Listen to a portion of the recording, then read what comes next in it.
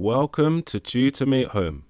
What follows are instructions for navigating the TutorMate Home platform. The first step to getting started is to select those days and times when your child will be available for a tutoring session. You will send this information to your child's volunteer tutor and they will choose a day and time that works for them from the options you provided. This introductory video will be presented each time you visit the TutorMate platform. If you would prefer not to watch the video, click the box Don't show this again. You can close the introductory video by clicking Next. The next window presented is the scheduling window. This is where you will select the days and times your child is available for tutoring. You can always access this window from the schedule session link at the top of the screen. Step 1. Select the days your child is available from the scheduling window. Under which days are you available? Click on the day or days your child will be available for tutoring. You can click on as many days as you would like. Click on the times your child is available for each day selected. If you need to change a day or time, simply click to unhighlight the highlighted entry. Step 2. Select the audio option. You will need to indicate how you want the volunteer to call your child for the next session. There are two options available for the audio connection. Using the audio on your computer, also known as IFL voice, or using a mobile phone. Both options are available when using a desktop or laptop computer. If your child will be using the audio on your computer for their reading sessions, select Call My Computer. When using the Call My Computer audio setting, the call will ring on the computer and your child will use the computer microphone to talk to their tutor. The tutor will be heard through the computer speakers. We recommend your child use a headset if one is available. If your computer does not have audio, you will need to use a mobile phone line for your child and tutor to be able to talk to each other. If your child will be using a mobile phone to talk to their tutor, select Call Your Phone.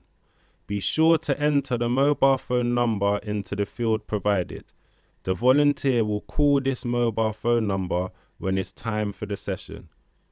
When you are done selecting the days, times and preferred audio connection, click Save Changes. An email will be sent to your child's volunteer with the information you have indicated in the schedule screen. The volunteer will review and agree to a day and time proposed by you. You will receive an email notification to check the TutorMate account to see if the volunteer was able to select one of the days and times you provided. Once the day and time is confirmed, the red unscheduled will turn to green scheduled. If the volunteer is not able to make any of the proposed days or times you indicated, the scheduled notice will be red and indicate unscheduled tutor unavailable. If this happens, you can propose new days and times from the scheduling window. If you would like to send a message to the volunteer to discuss additional options, click on the message link at the top of the page. Click create new message and select the volunteer's name. Now that you've understood how to schedule the time of your child's session, let's think about how you actually start the session when the time comes. Please remember that TutorMate works best on Google Chrome, so whatever device your child is using for their reading session, please use Google Chrome as the internet browser if at all possible. To start a session, you will need to have the TutorMate application open on a desktop or laptop computer. If using a mobile phone, you will navigate to the application after the call is answered. When it's time for the tutoring session, please make sure your child is sitting at the computer device or has the mobile phone available.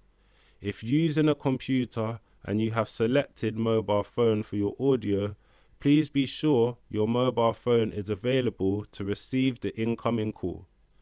When using a desktop or laptop computer for the session audio, there are two prompts to note. Number one, before the first session, you may be prompted to activate the audio and speaker components on the computer. This is generally a one-time activation and you should not need to do this before each session. And number two, the computer will display the prompt I'm ready prior to the session. Click I'm ready if your student is at the computer and ready for the session. By clicking I'm ready, the system acknowledges your child is sitting at the computer and will generate a number for the tutor to call.